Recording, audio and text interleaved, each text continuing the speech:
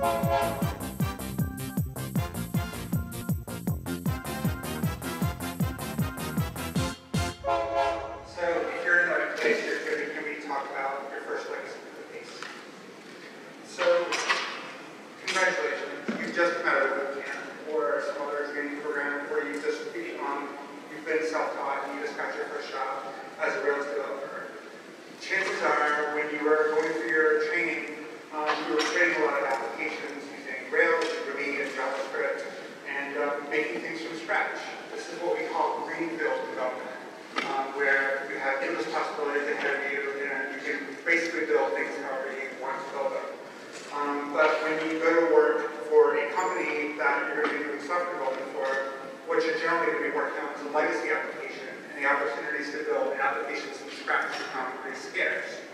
So I want to help you understand how best to work with a legacy Rails application today. So who am I? Um, I've been doing web development since, uh, since 1993, so pretty much forever. I built my first website before there was a graphical web browser. Um, I've been doing Ruby since 2007. I have about 2,000 Ruby jobs to my name. Um, I have the most awesome vanity URL ever where I provide up codes. You can go there to find out where I'm speaking, and uh, who's writing about me and my occasional blog posts. I am Coraline Ada on Twitter. That's Twitter is really the best way to get in touch with me. I don't really like email very much anymore. Um, I generally tweet about Ruby and social justice, and I exchange funds with Tenderlove. You heard this morning in the keynote about Rails adopting a code project, conduct. I'm the author of that code project. It's called Contributor Covenant. It is the most popular open source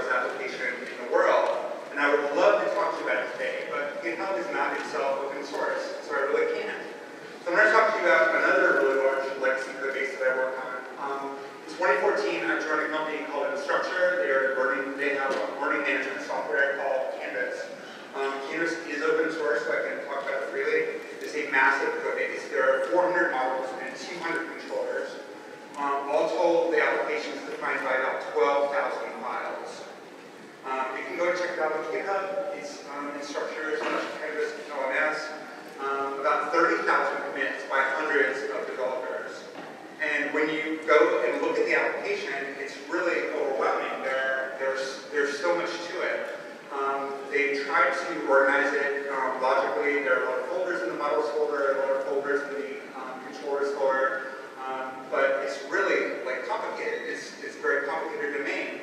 And when I started there, I was asking myself, how can I navigate this labyrinth of code? How can I understand this so that I can make a difference and I can actually participate in, um, in extending features and fixing bugs in this, in this code base?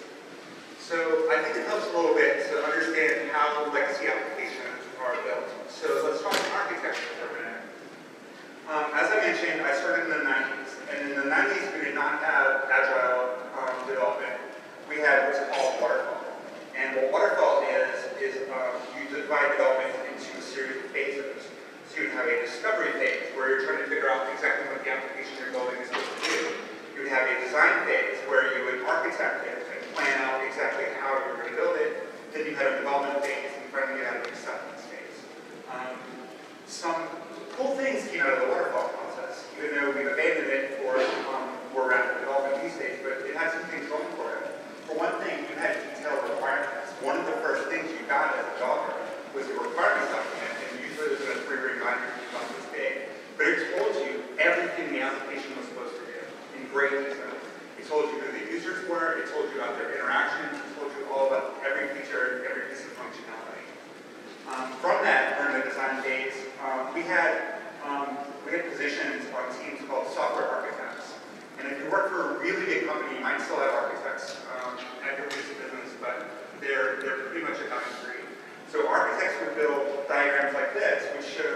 how every piece of the system interacts with every other piece of the system for a given operation.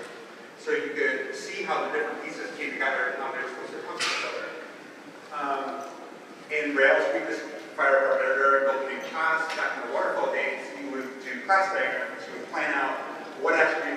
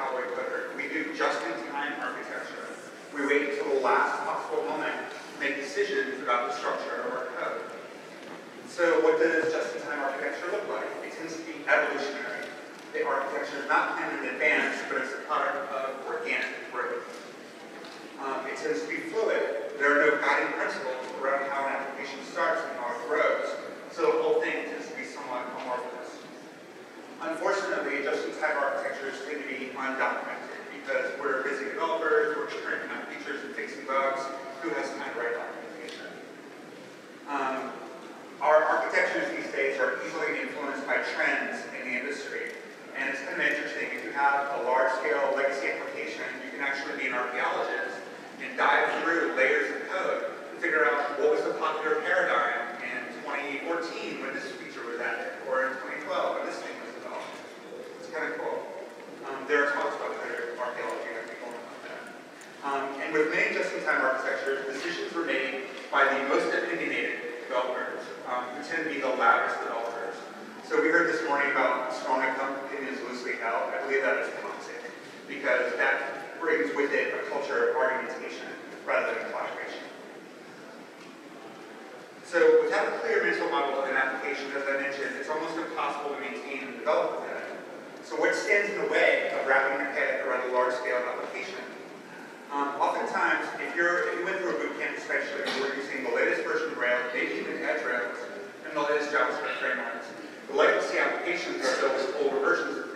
GitHub, which is on Rails 3. Um, and the MVC frameworks on the client side you're using may have been maybe, maybe a little behind the times as well.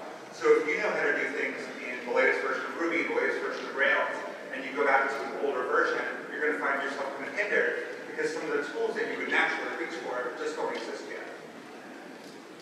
All applications tend to entropy, and legacy applications have a lot of time to slide toward complexity. Um, given the just-in-time architecture that fueled the development of legacy applications, there's no single plan or guiding vision for the way the app was designed. So there can be a frustrating lack of cohesion, a lack of things coming together to work together in a seamless manner. Um, it can often appear that the whole thing is held together with duct tape and string.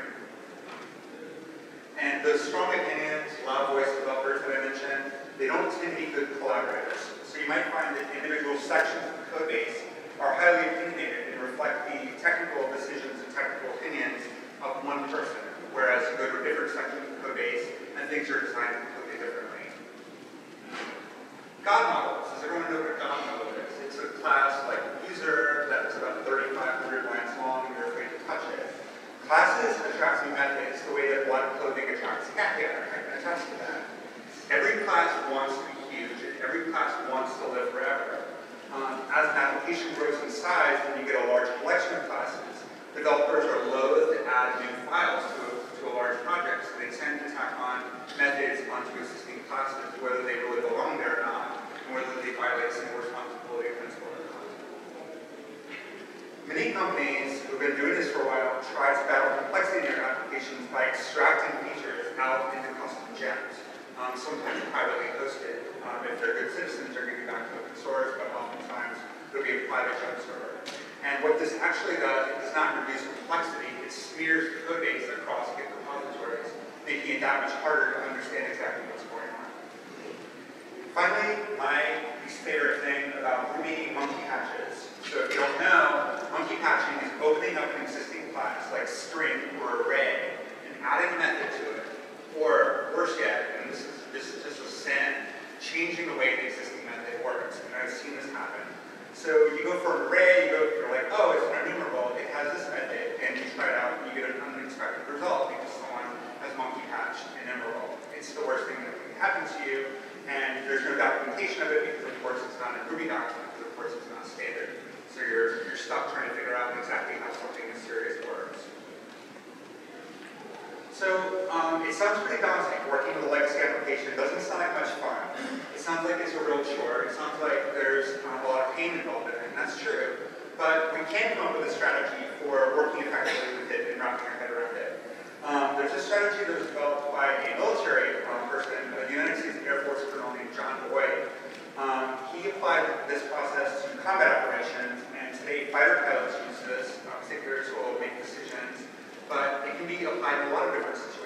Going to explore its application um, in terms of legacy code.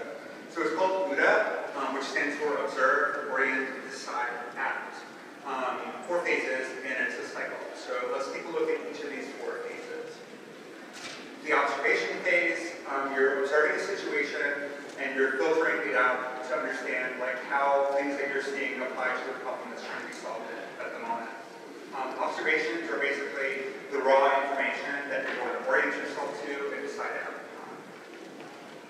The observed information has to be processed before you can act on it. So um, this is where you bring your own experience and your own knowledge to bear to sort of shape the inputs that you got from the previous phase. And that shapes the way that you observe, the way that you decide, and the way that you act. In the decide phase, you take a course of action. Decisions are based on best guesses, um, based on observations, and your orientation. Decisions are works in progress. You're not going to get it right the first time through. As you keep cycling through OODA, new suggestions keep arriving. These will trigger changes to your decisions. Essentially, you're learning as you go, which is a good thing. And finally, the act stage. This is where you follow through on your decision. And then you cycle back to observe, and as you judge the effects of your action. Um, and this feeds into the learning process. So let's take a look at each of those as they apply to the legacy code base. First is observation. How do you observe the legacy code base? If you're lucky, and you're not going to be lucky, um, there will be a doc store in your Rails application, and it'll be full of goodness for you. It'll explain exactly how the system works. Maybe some of is generated documentation from people who document their code really well, which everyone does, of course. So don't count on the docs that, basically. Sometimes people are nice and leave inline comments that describe, oh, here's what this method does, here's inputs, and here outputs, um, if you're lucky. So look for code comments and see if they actually exist. A lot of larger companies keep wikis. Um, wikis are really hard to maintain. They punish you through their user interface. And I like to say that wiki stands for where information builds itself. So don't count on wiki being up to date, but it might be there, it might establish, you might have to establish kind of a baseline. Um, one of the jobs that I worked at, we had these things called architecture decision records. If you don't have these, bring this to your company. Bring, if, if, if it's the only thing you get out of my talk, um, create architecture decision records. They're really cool. Here's how you do it. Um, on your GitHub repo, you open an issue that says, we need to solve how to do problem X. We need to figure out a way to solve problem X. And you talk about what the sort of considerations are around that, what you're trying to achieve, some of the rough spots you see, and you say, what if we did this? And now other people on your team go to the issue and they comment on it. And they're like, oh, but how do you consider this um, sort of sticky point or this edge case? Um, and you actually engage in a discussion via an issue. And at the end, you arrive at consensus. If you're lucky, which you should be, eventually you'll arrive at consensus, even if people just get sick of arguing about it. Um, and you keep that issue around, you close it, but it's part of your repo.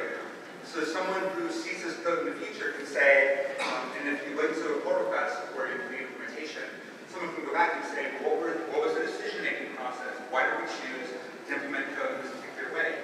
And now you have a record of it. And it's a very low-friction way of doing things because we're all used to working with issues on GitHub. So architecture decision records pretty much rock. Um, you can also look at pull requests. So when you're working on a particular part of the, of the code base, look for pull requests that reference that part of the code base because you'll often see comments on that pull request that shape the way the code was written at the end. Tests. People generally think of tests as code validation, and tests are really valuable for code validation. Some people use tests to drive development. They will write a test before they write a line of code, and call that test-driven development. But tests, that, those, those are important, but I think the most important role that tests play is documentation. Because tests reflect bugs that occur in the code, they reflect edge cases, and they reflect the way the code is supposed to work. They're essentially a specification for how code works. So um, reading tests can be extremely um, illuminating when you're trying to figure out how an application works. And if you use RSpec, there's this format flag you can pass to RSpec. You should write this down. Dash dash format documentation. And the output you get from it is human readable specifications. So in this case, we're running it on a membership model, and we get membership determines its upgradability. Membership calculates its expiration in days, and so on. So this is something you can read through and understand, oh, that's what the membership cost is doing. That's what it's all about. So we should test this documentation. And um, finally, you're not going to be able to get around reading the code. Um, I talked to a lot of new developers, and I talked to a lot of people who are in camps, and they ask, how do I get better at Ruby? And I tell them, find a gem that you like, find something that's useful to you, and go and read the source code. Because that is the best way you're going to learn how other people have coded, what coding conventions are, what best practices are, and learn from the cleverness of your peers. Um, reading code of a legacy code base is important too, um, because you're going to learn how it's put together and what sort of expectations there are for code quality and patterns. So that's observation. Um, the observed information, the observed information has to be processed so you can orient and make a decision. And this is where we draw on our experiences and our knowledge to inform ourselves. So some questions you should ask yourself. What is the problem that code is trying to solve? And you can look at this on a, on a micro level, like what is this method trying to do? Or you can also step back and say, what business are we in? And what problem is the business trying to solve? And how does this code base solve that problem for us? Um, you also want to look for terms of art. And this is basically the custom vocabulary, the custom jargon that applies to the industry you're in and the code base you're, in the business you're working for, and the code base you're working in. So keep a glossary as you're, if, uh, if you're new, keep a glossary of like, this is, these are the words that people are using to describe the problems that we're solving. And for God's sake, if you come across an acronym. And a great thing you can do from a citizenship perspective is as you're onboarding and learning all this stuff and keeping your glossary, put that somewhere where other people who join the company after you can reference it, and you'll make onboarding a much better experience for them. So it's a way of giving that. Um, you should look for patterns. What are some of the architectural design patterns that influence the shape of the application and influence the development of the code base over time? People. I like to say that every code problem is actually a person problem. Um, it's very valuable early on to look for the subject matter experts, not only on the sort of things that the business is doing and that the software is doing again at the macro level, but say who owns the subsystem or who is one of the who are, one, who are some of the people who works a lot on this particular component. Um, you can use git blame to find out who's been doing the most commits against a particular part of the code base and find the people that can answer your questions for you. Another great way to orient yourself to an application is by checking out the routes file. Um, in a Rails application, routes define how the application interacts with the world, how it interacts with users. So routes can be a great way to start learning how the business logic all comes together to solve a problem. Um, you can get a great um, view of what the application is actually supposed to do. So then comes the decision phase. What are you going to do with the information that you've gathered in the process? You're going to make a plan, and you're going to get ready to make a work in progress. So one thing you might do is refactor. And this isn't just in the context of, oh, I'm working this feature and it's supposed to be gnarly and I want to make it simpler and more beautiful. Um, you can also refactor to learn what's going on in, um, in the code. You do a throwaway refactor. So you're like, I don't understand what this set of methods and user is really doing, so I'm going to rewrite them. I'm going to reconstruct them from scratch.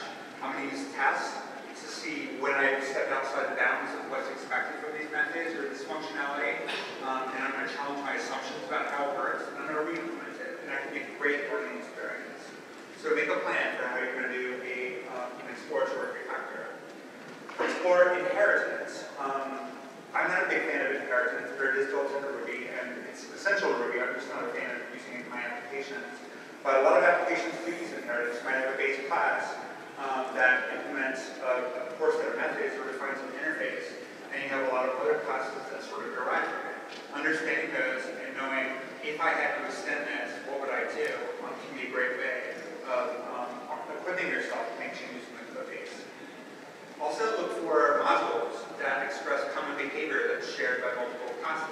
And ask yourself, if I needed to implement this behavior, what modules would I be using? Um, untangle gems, especially about legacy applications, they tend to collect gems like crazy, and the, the, the gem file is really, really long, and no one can actually say what the Ruby is being used for, or what GemX is being used for anymore.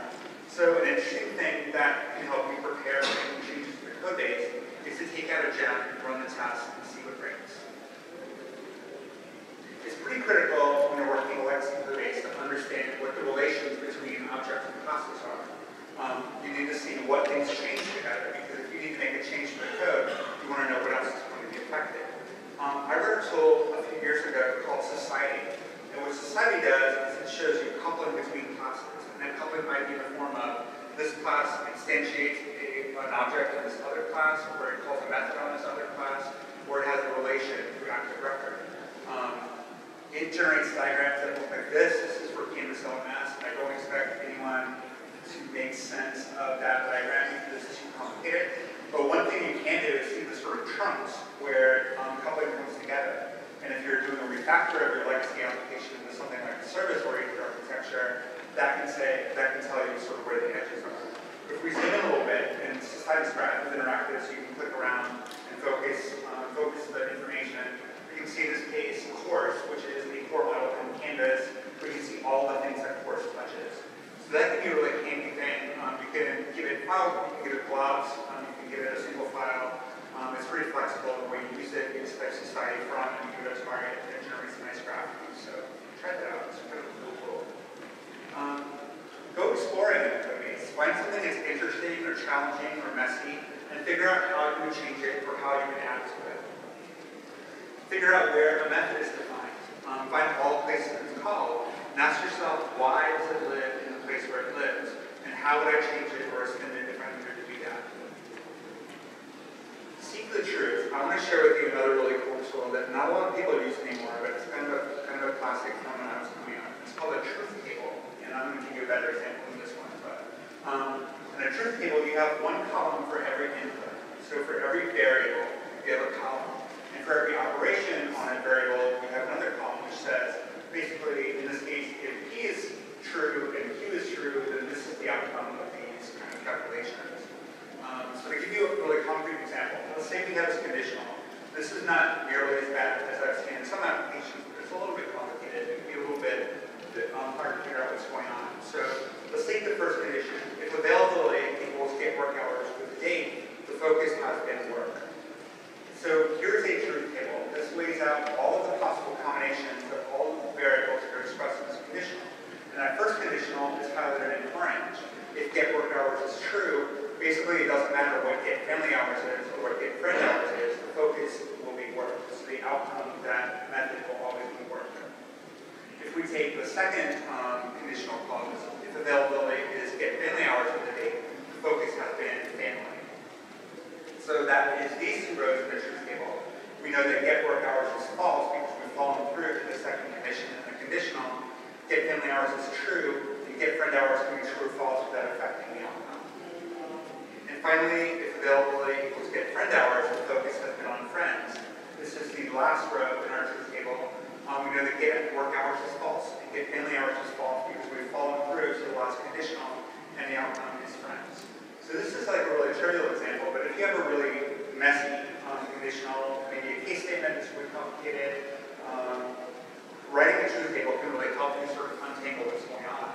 And if you have to write something that's a nasty conditional, a truth table can inform what kind of tests you're going to run for it as well. So um, add that to your toolkit. So that's the decision phase. Now it's time to actually do something with what you have learned. Um, you want to start out by making a branch. And I recommend you create a throwaway branch for a throwaway refactoring. Something you can safely without changing the core application.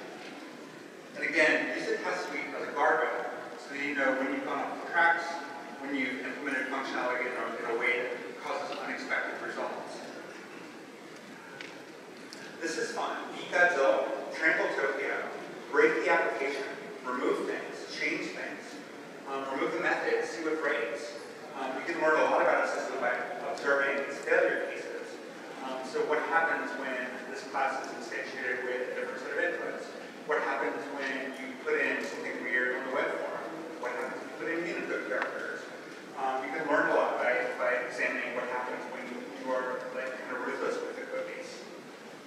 Um, Pry is one of my favorite tools. Who uses Pry? Awesome. I'm glad to see that. Um, so that's just a refresher. Like basically in your source code, you put in a require Pry, binding Pry. And what that does is it interrupts program flow. So when you execute this code, it drops it into a console, and you can the state of the world. So in this case, we're looking at what does this user think that we talked about the. It's um, user object with the first name Portland, which sounds familiar. Um, OODA is a cycle, and it's important to repeat that cycle. It's a loop. Every iteration through the loop gives you new information. It allows you to orient yourself better to what you're working on. Um, it gives you a greater understanding, and it empowers you to act. So it is a very useful tool, in my experience, take through a code base that is foreign, that is large, and hard to understand. Um, and in general, when you're going through it, remember what you're what you're trying to accomplish. You've been hired to maintain an application, to add features to it, fix bugs in it. You're trying to become a valued member of a team. You're trying to be productive. Um, so do everything in your power to achieve that particular goal. Um, understand that you're not going to understand a big, complex system the first week of your job, or even the first month of your job. There's an ongoing process. You're going to be constantly discovering new things and incorporating that into your corpus of knowledge. And it's going to enable you to do bigger and better things, but it definitely is a process that you need to keep at. Um, pair up with someone. You might have a senior developer on your team.